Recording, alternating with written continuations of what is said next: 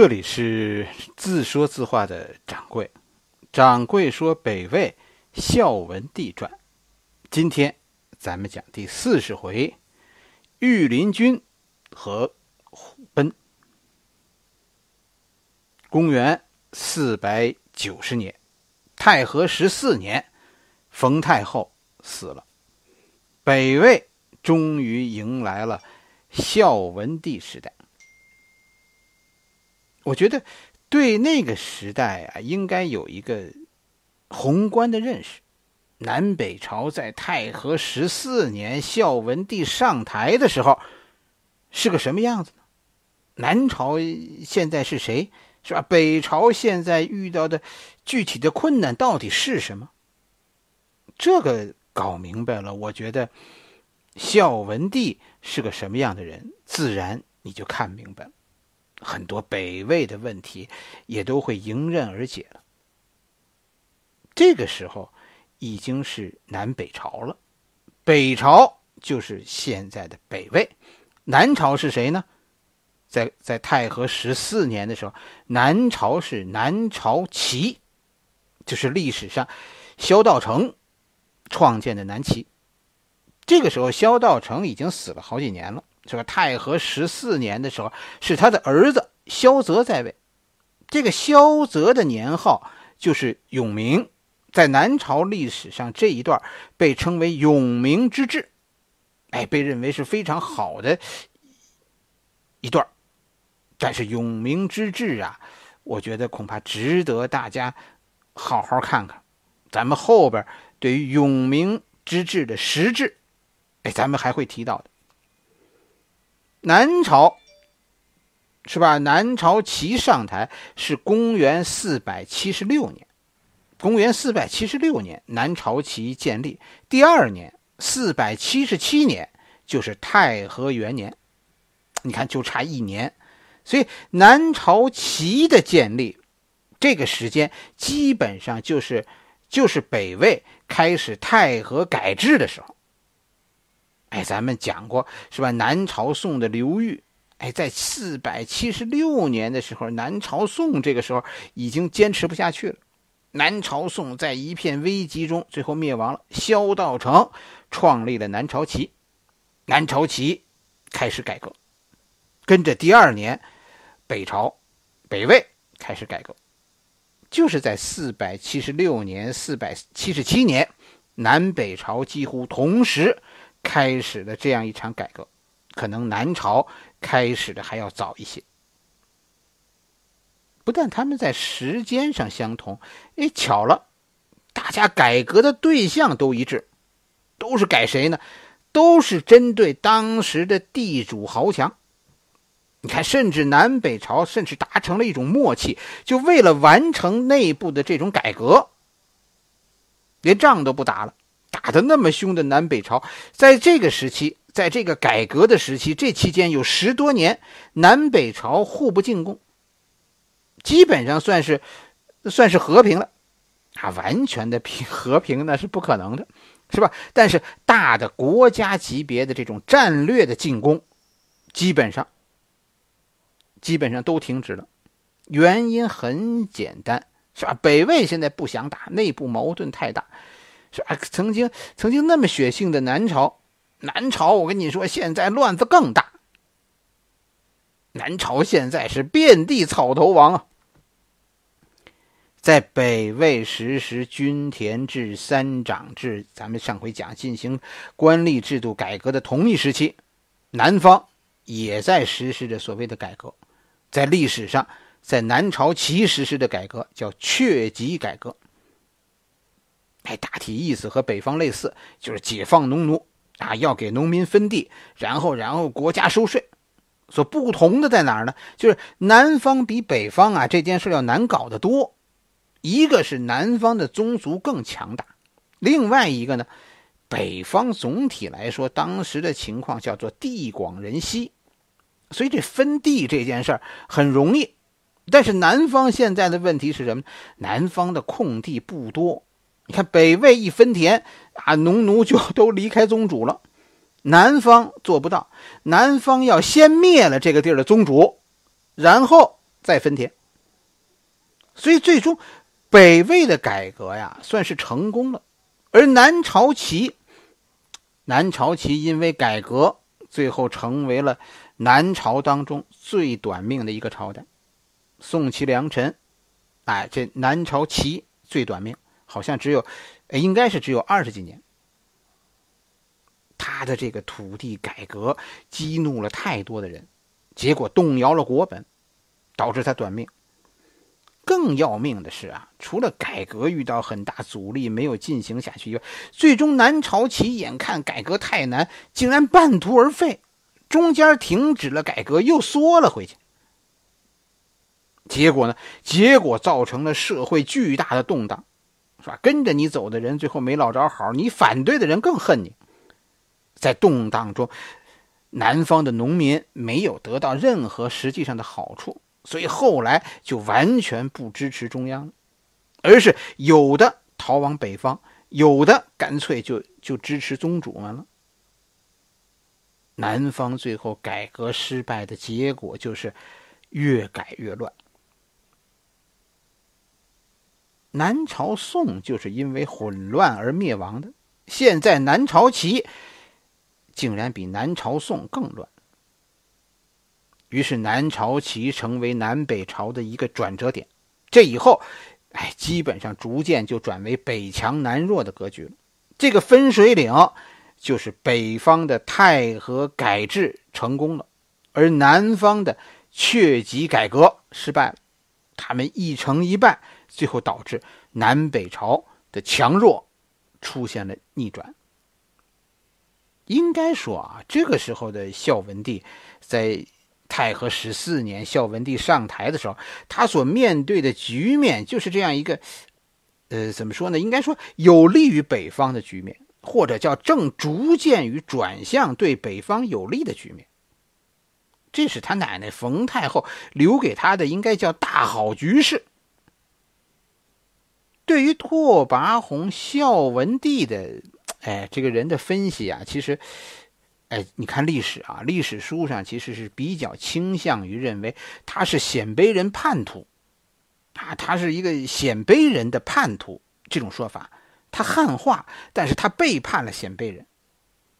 哎，如果你看明白了，当时鲜卑人和汉人有很多的矛盾的，哎，当你看明白了这个这个问题，就那你说。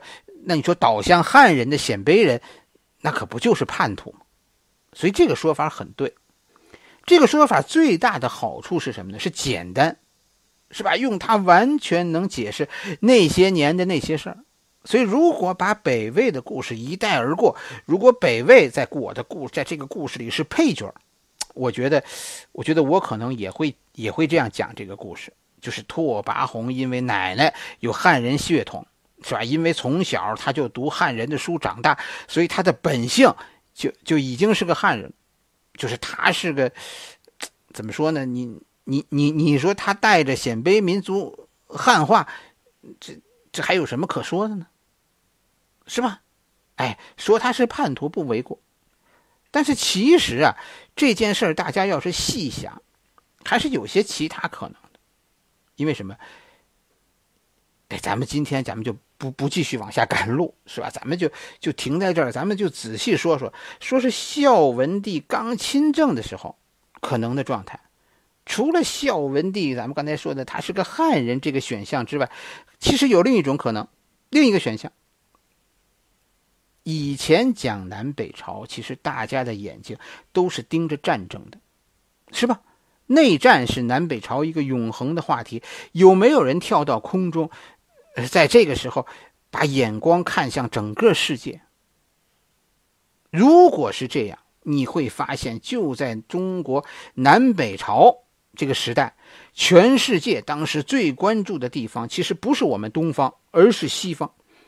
南北朝这些年，这是东罗马帝国崛起的时代；在中亚，这是波斯人崛起的时代。就东亚这个局部来说，我们认为它正经历着来自西方的西域文化的传播。西域文化背后是波斯，波斯的背后是东罗马帝国。这是一种文明强势的自西向东传播。北魏其实这个时候正承受着两大文明的挤压，来自西域的文明，啊，它现在已经传播到柔然和高车了。这这是一股文明，另一股就是汉文明。南朝，南朝的汉文明。当北魏面对单一文明的时候，你看鲜卑民族一直顽强的坚持做自己。鲜卑一直拒绝汉化，尤其是拓跋这一支，我觉得主旋律应该是拒绝汉化的。他们在这一点上，我跟大家说，很像现在的日本，就是学习你，但是不做你，是吧？我有我自己的坚持。你看日本，日本人很像汉人，他们他们写汉字、穿汉服、说汉话，是吧？他们的语言当中有有有多少汉化的成分呢？是吧？他们他们吃汉族的饭，用筷子。但是骨子里，日本人和中国人完全不同。现在北魏其实也是这样一个一直坚持的这样一个状态，但是到了现在，当他在两种文化的挤压下，北魏其实现在必须做出一个文化上的选择了，因为以前他们他们所以能够拒绝汉汉化是吧？跟嗯跟汉族。呃，发生战争，那没关系，是吧？打仗也没关系，大不了打不过就跑呗，是吧？打赢了我就南下，打不了我就退回到兴安岭，而且在兴安岭会有源源不断的一波又一波的鲜卑人南下。可是现在呢，到了这个时候，当真的西域文明向东扩展以后，兴安岭现在已经是高车人的天下。那那现在都是西域文化了，鲜卑文化为什么能够保存到北魏呢？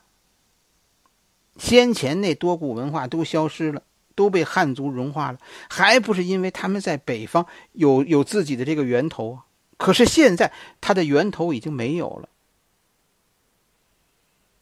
所以说还想跟过去似的，是吧？惹不起躲得起，你现在无处可去啊！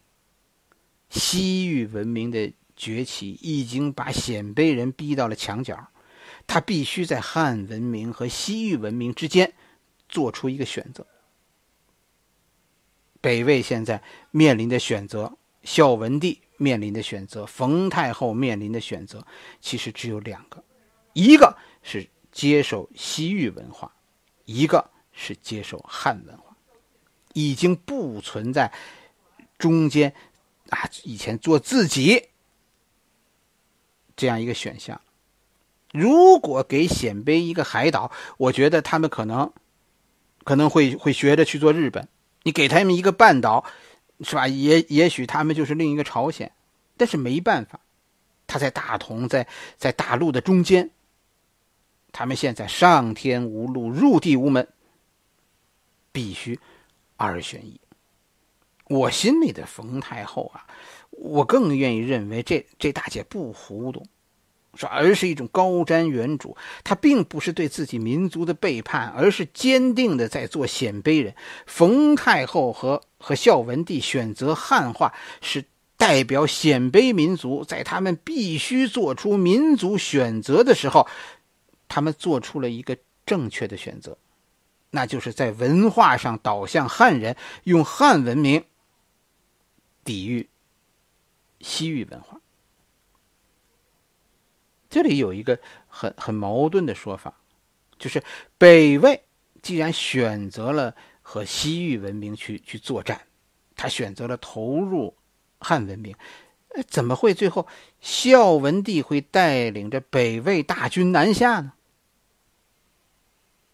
这句话其实啊，我跟大家说，你要想透了，一点都不复杂。怎么想透这件事呢？你只要把它和另一件事做一个对比。对比什么？对比鲜卑和后来的蒙古。鲜卑我们知道，那已经融入汉民族了，是吧？中国现在没有鲜卑族，而蒙古呢？蒙古至今也没有完全融入汉民族。咱们讲过成吉思汗了，成吉思汗当年是先向西，再向南，这就是他们的选择。蒙古其实遇到的问题和鲜卑是非常相似的文明，就是在西域文化和汉文明之间，他们必须选择一个。成吉思汗的选择是选择了西域文化的，所以大家注意到了吗？成吉思汗和孝文帝都是选择和和自己希望融入的文明开战，然后获取那个文明的力量以后，去消灭另一个。真的，文明这件事就是这样。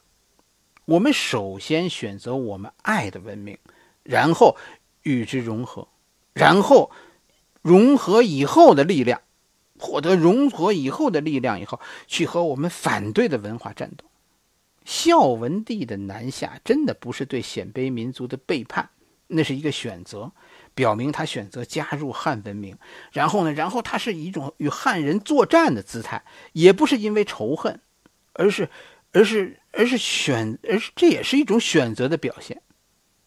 所以，对孝文帝是不是一个叛徒的另一个解读，应该是孝文帝和冯太后都是很纯粹的鲜卑人，他们的汉化是一种选择，在西域文化和汉文化当中，他们二选一了，他们选择了汉文明。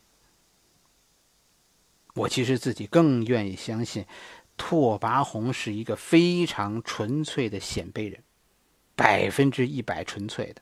是吧？他的汉化和他南下和汉人开战一点都不矛盾，因为他选择汉化，要做一个和有与做一个西域人相比，哎，他选择了宁肯做一个汉人。孝文帝的汉化之路的起点就在平城、大同。哎他的开始就是要发动一场南下对汉人的战争，而在他发动这场战争以前，他需要做出一些准备。哎，他做的一件大事就是组建羽林军和虎贲。他老爸想干的那个事儿，想干而没干成的那个事儿，孝文帝干了，而且干成。羽林军是一个什么样的部队？咱们以前讲过。是吧？虎贲又是又是一支什么样的部队？他们都是只属于皇帝的军队。现在实际上北魏出现了第三支军队。以前北魏有两个政府，是吧？一个是汉人政府，一个是鲜卑人的政府。